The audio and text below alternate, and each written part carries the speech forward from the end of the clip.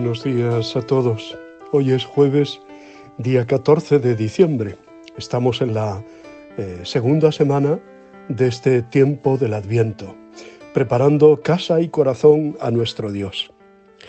Como todos los jueves decimos de Él eucarístico y sacerdotal.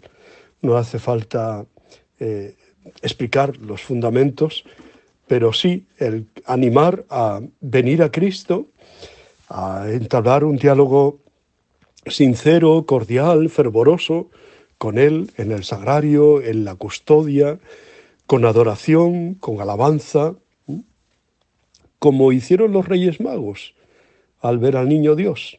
Nosotros que estamos preparando camino al Dios que se va a hacer niño, pues qué mejor que hacerlo en la adoración. ¿eh? Y también decimos sacerdotal porque necesitamos de la oración por los sacerdotes y por los seminaristas y las posibles vocaciones. ¿eh? La vocación que ha de ser valorada y estimada en el seno de la familia, también en la comunidad cristiana, en la parroquia, y también pues que esa vocación salga adelante con todos los medios adecuados, ¿no? Para que sea el que se forme en el seminario realmente un sacerdote de Jesucristo, un sacerdote según su corazón y un sacerdote para la Iglesia de este siglo XXI. El texto del Evangelio de hoy es Mateo 11, del 11 al 15. Ese Dios volcado hacia su pueblo decide, al cumplirse la plenitud de los tiempos, enviar a su Hijo amado al mundo, y quiso también que su venida estuviera preparada por un precursor, Juan el Bautista. Hemos escuchado cómo Jesús alaba a Juan, dice de él que es el profeta a quien se había anunciado cuando se decía que Elías volvería. Ya ha venido, aunque algunos no le quieran reconocer, y es el más grande de los nacidos de mujer. Juan Bautista es el último de los profetas del Antiguo Testamento, el que establece el puente a los tiempos nuevos, los definitivos. Por eso dice también Jesús que es el más pequeño en el reino de los cielos, es más grande que él. Ahora que viene el profeta verdadero, todos los demás quedan relativizados. Ahora que se congrega el nuevo pueblo en torno al Mesías, ha llegado a la plenitud del pueblo primero, la primera alianza. Aprovecha Jesús para decir que su reino supone esfuerzo, que hace violencia, y sólo los esforzados se apoderan de él. Esa es la única violencia que, que ampara eh, el Jesucristo. ¿no? no es que esté Jesucristo llamando a la violencia de física o de las armas o de la guerra, no. Dios es Dios de paz. Es un orden nuevo de cosas exigentes y radical.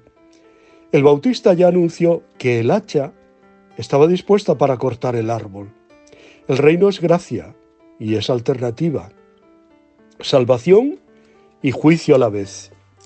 Él, el Bautista, hombre recio donde los haya, fue de los que recibieron con entereza este reino.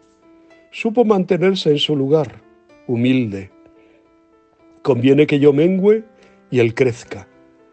Porque no era él el Salvador, sino el que le prepara el camino. Vivió en la austeridad y predicó sin recortes el mensaje de salvación, de conversión. Fue la voz que clama en el desierto para preparar la venida del Mesías. Además, encaminó a sus discípulos hacia Jesús, el nuevo y definitivo Maestro. Este es el Cordero de Dios que quita el pecado del mundo. Juan Bautista nos invita a un adviento activo, exigente. Celebrar la venida de Dios en la próxima Navidad no es solo cosa de sentimiento y de poesía. La gracia del Evangelio, de la Navidad y de la Epifanía pide disponibilidad plena, apertura a la vida que Dios nos quiere comunicar. Supone, como predicaba Isaías y repetía el precursor, preparar caminos, allanar, rellenar, enderezar, compartir con los demás lo que tenemos, hacer penitencia, o sea, cambiar de mentalidad. Si Navidad no nos cuesta ningún esfuerzo, será seguramente porque no hemos profundizado todo lo que debiéramos en su significado sacramental. El don de Dios es siempre la, a la vez tarea y compromiso. Don y tarea. Es palabra de consuelo, pero también de conversión. En la plegaria eucarística cuarta del misal se alaba a Dios por cómo ha tratado siempre a los débiles y pecadores. Cuando por desobediencia perdió tu amistad, el pueblo de Dios, no le abandonaste al poder de la muerte, sino que compadecido tendiste la mano a todos para que te encuentre el que te busca. Como decía Isaías de Yahvé y su pueblo Israel, yo te cojo de la mano y te digo, no temas. En el adviento se deberían encontrar esas dos manos, la nuestra, que se eleva hacia Dios, pidiendo salvación, y la de Dios, que nos ofrece mucho más de lo que podemos imaginar. No es tanto que Dios salga al encuentro de nuestra mano suplicante, sino nosotros los que nos damos cuenta con gozo de la mano tendida por Dios hacia nosotros. Adviento es antes gracia de Dios que esfuerzo humano. Lo repito, antes gracia de Dios, un don, un regalo, que esfuerzo humano, esfuerzo nuestro. Aunque ambos se encuentran en el misterio que celebramos. Ojalá todos, como prometía Isaías, veamos y conozcamos, reflexionemos y aprendamos de una vez que la mano del Señor lo ha hecho. Ha sido su mano, no yo. Hoy la Iglesia celebra la memoria de un gran santo, San Juan de la Cruz, presbítero y doctor de la Iglesia. Juan de Yepes nació en Fontíveros, Ávila, de familia noble, aunque venida a menos. Al hacerse carmelita a los 21 años, recibió el nombre de Juan de San Matías. Una vez sacerdote, intentó pasarse a los cartujos. La disuadió, lo disuadió Santa Teresa, la cual lo conquistó en favor de la reforma carmelitana. Entonces adoptó el nombre de Juan de la Cruz.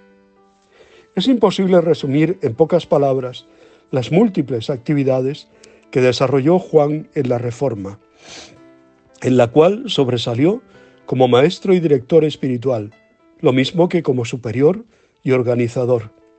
Víctima de la reacción anti-reformista, Juan pasó ocho meses de dura prisión en Toledo. Allí inició su obra poética.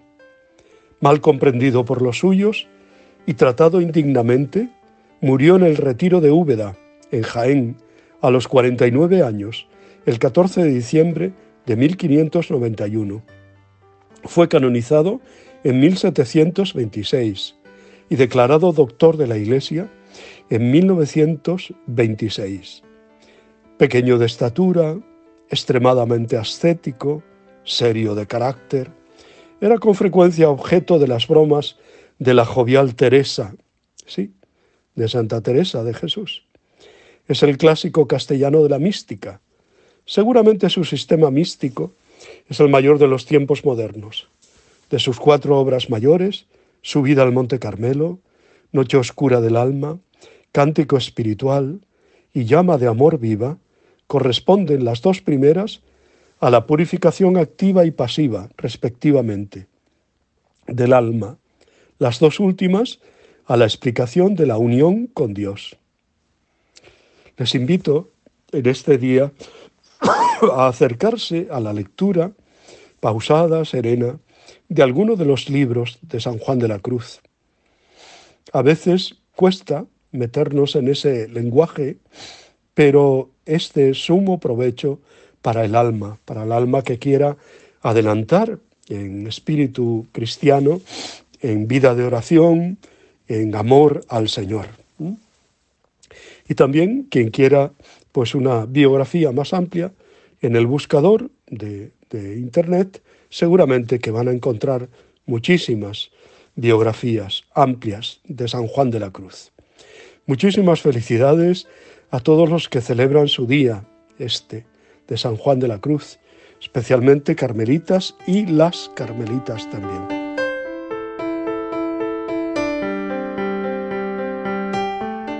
Muchísimas gracias a todos por vuestro apoyo y sobre todo por vuestra oración. Yo sé que el Señor, mi guardián, no duerme. Él es el que me sostiene. Y yo solo quiero ser instrumento en sus manos. Que Él crezca y que yo disminuya para que todo sea alabanza para su gloria. Así que muchísimas gracias a todos y un saludo muy cariñoso a toda la amplia familia de la Barca del Padre. No os olvidéis lo que os digo siempre, y es verdad, os quiero, os tengo como, como hermanos queridos y por eso sé que nunca me falta vuestra oración, que me deje conducir por el Espíritu Santo de tal manera que mi voz sea la voz, la voz que Dios quiere que, que suene y a donde Dios quiere que llegue. Gracias por hacerlo posible también. A la gran familia de la Barca del Padre, un abrazo muy grande para todos. Os deseo muy buen día, os abrazo y os bendigo en el nombre del Padre, del Hijo y del Espíritu Santo. Maránata, ven Señor Jesús, os quiero.